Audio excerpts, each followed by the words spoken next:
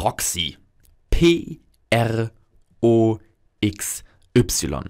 Das ist der englischsprachige Begriff, um den es in diesem Video geht.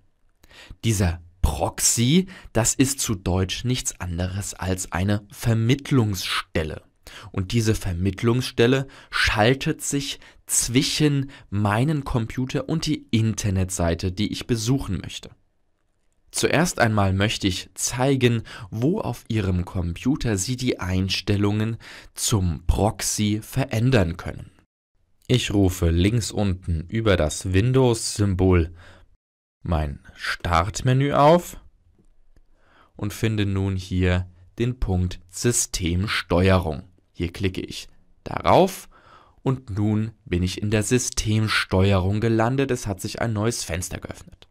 Hier wähle ich nun die Anzeigeneinstellungen nicht Kategorie aus, sondern ich klicke hier drauf und wähle den Punkt große Symbole aus. Hier klicke ich mit einem Linksklick darauf und Sie sehen, die Ansicht hat sich nun geändert. In dieser neuen Ansicht dieser großen Symbole suche ich den Punkt Internetoptionen und hier klicke ich mit einem Linksklick darauf.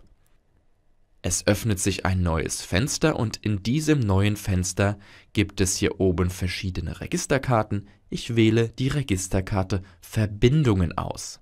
Und auf dieser Registerkarte Verbindungen gibt es einen Punkt, der heißt hier unten LAN-Einstellungen. Und jetzt klicke ich auch noch hier darauf und es öffnet sich wieder ein neues Fenster. Und in diesem Fenster kann ich nun die Einstellungen zum sogenannten Proxy, zu dieser Vermittlungsstelle einstellen. Nun, ich sagte ja bereits, Proxy, das ist eine Vermittlungsstelle, die sich zwischen meinen Computer und die Internetseite, die ich gerade besuchen will, dazwischen schaltet. Es ist also so, dass jegliche Verbindung von meinem Computer zum Internet, zu Internetseiten über diesen Proxy, über die Vermittlungsstelle laufen. Alles, was ich im Internet mache, geht immer über diesen Proxy, immer über diese Vermittlungsstelle. Wofür ist diese Technologie eigentlich gedacht? Denn eigentlich ist diese Technologie sehr hilfreich und sehr nützlich. Nehmen wir einmal an, ich betreibe eine Firma und möchte nicht, dass meine Angestellten auf eine bestimmte Internetseite gehen. Zum Beispiel möchte ich nicht, dass meine Angestellten während der Arbeitszeit Online-Shopping betreiben. Das ist etwas Privates und ich möchte als Arbeitgeber nicht, dass meine Arbeitnehmer das tun. Und dann kann ich über eine solche Proxy-Einstellung, über so einen Proxy dafür sorgen, dass meine Mitarbeiter nicht mehr auf Online-Shopping-Seiten können, also nicht mehr im Internet shoppen können, nicht mehr einkaufen können im Internet. Oder aber stellen Sie sich vor, Sie haben Kinder und möchten dafür sorgen, dass bestimmte Internetseiten von Ihren Kindern nicht besucht werden können. Zum Beispiel Pornoseiten oder Seiten mit diskriminierenden rassistischen Inhalten.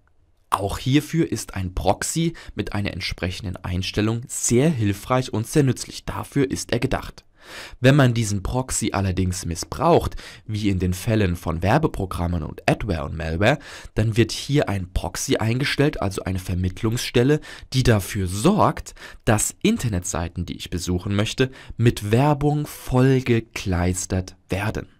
Ich besuche also eine Internetseite und nehmen wir einmal an, diese Internetseite hat bereits zwei Werbeanzeigen.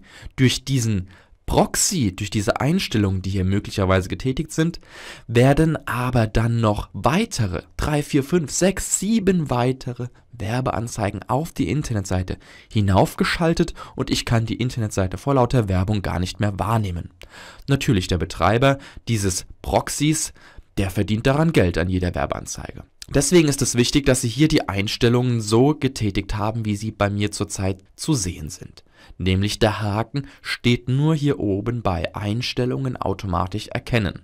Bei den Stellen darunter bei Skript für automatische Konfiguration verwenden oder hier unten bei Proxy-Server für LAN verwenden. Hier setzen Sie bitte nur einen Haken und setzen Sie nur dann Werte ein, wenn Sie ganz genau wissen, was Sie tun. Im Normalfall sollte hier nichts stehen, diese beiden Haken sollten nicht gesetzt sein.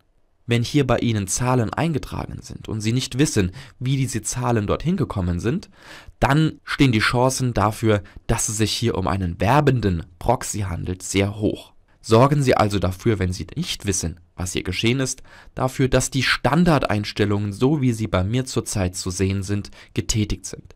Setzen Sie also nur den Haken hier oben und entfernen Sie die beiden anderen Haken. Danach klicken Sie auf OK und auch im Fenster, das sich dahinter befindet, klicken Sie auf OK. Und nun haben wir die Proxy-Einstellungen wieder auf die Standardeinstellung zurückgestellt und haben die Proxy-Einstellungen also sozusagen bereinigt. Dieser Film wurde bereitgestellt von Levato. Mehr kostenlose Filme finden Sie auf www.levato.de.